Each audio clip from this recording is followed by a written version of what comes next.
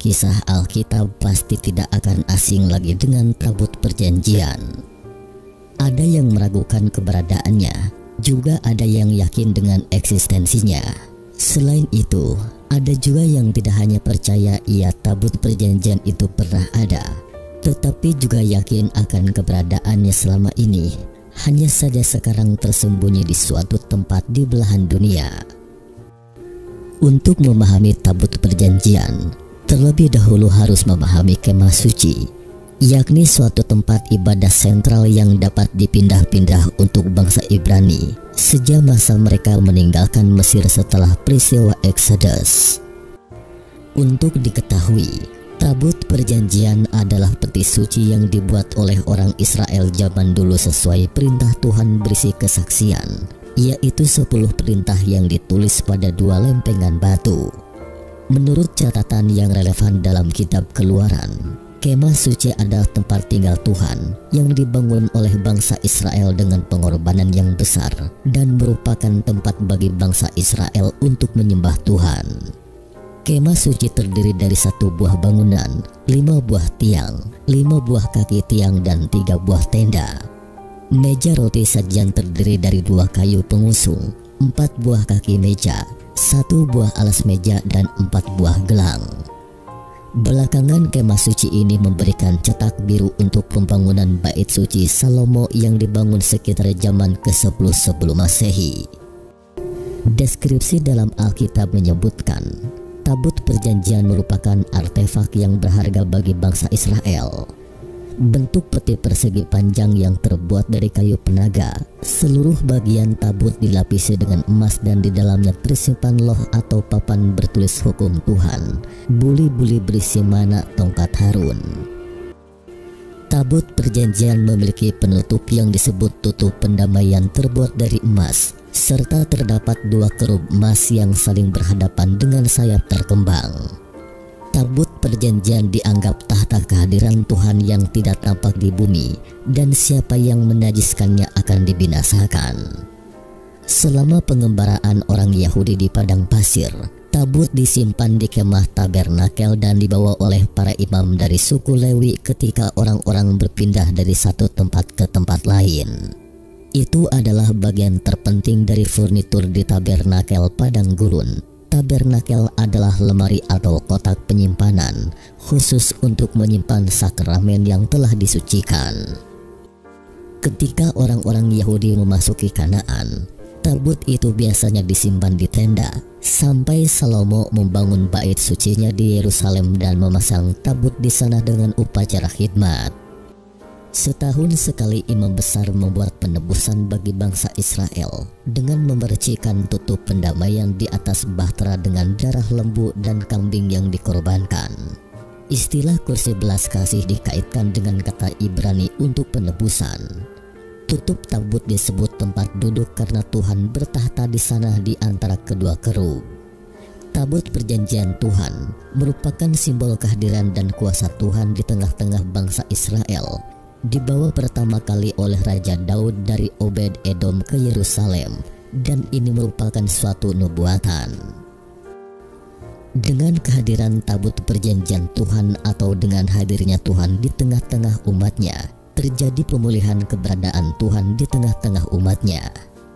Tuhan adalah Tuhan dan pencipta alam semesta dan segala isinya yang empunya umatnya Israel dan lainnya. Kehadiran Tuhan membawa sukacita dan pemujian umat terhadap Tuhannya di bait suci. Namun bait suci Salomo yang dibangun sekitar abad ke-10 sebelum masehi untuk menggantikan kemah suci itu dihancurkan oleh bangsa Babel di bawah Nebukadnezar pada tahun 586 sebelum masehi dan sejak itu tabut perjanjian hilang dari sejarah bangsa Israel. Alkitab tidak menyebutkan ke mana raibnya tabut perjanjian, Kemungkinan besar dihancurkan Raja Neo Babilonia Nebukadnezar II setelah menaklukkan Yerusalem.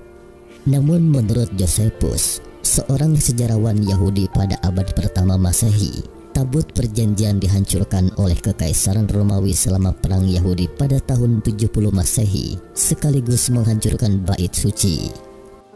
Menurut legenda, ada yang menyelundupkan tabut perjanjian keluar dari Yerusalem. Konon katanya sekarang disimpan di gereja Santa Maria di kota kuno Aksum, Ethiopia Utara. Gereja Santa Maria, kota kuno Aksum, Ethiopia Utara.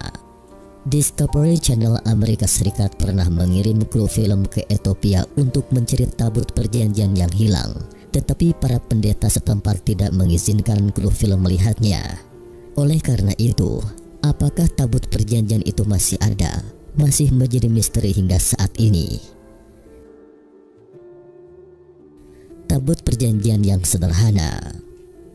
Di sisi lain, kitab ulangan menceritakan sebuah kisah pembangunan tabut perjanjian yang lebih sederhana.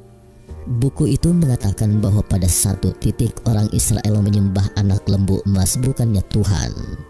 Musa sangat marah dengan hal ini sehingga dia menghancurkan loh batu yang diukir dengan sepuluh perintah. Tuhan memerintahkan Musa untuk membantu membuat loh baru yang diukir dengan sepuluh perintah dengan menciptakan bahtera kayu yang dapat mereka letakkan. Pahatlah dua loh batu seperti yang pertama dan datang kepadaku di gunung. Juga buatlah tabut kayu Aku akan menuliskan pada loh itu kata-kata yang ada pada loh pertama yang kamu langgar.